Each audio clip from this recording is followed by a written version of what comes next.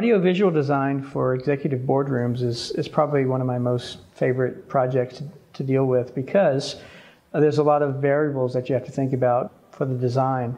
Uh, user interface is really important for executives. It really needs to be user friendly and, and intuitive. Oil and gas executives are busy, uh, so oil and gas boardrooms need to really be thought through, especially when it comes to the user interface.